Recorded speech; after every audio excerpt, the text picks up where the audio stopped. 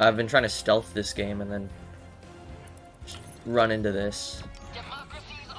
Hey y'all. Yeah, up this way. 61 kills! Found something! What are y'all doing?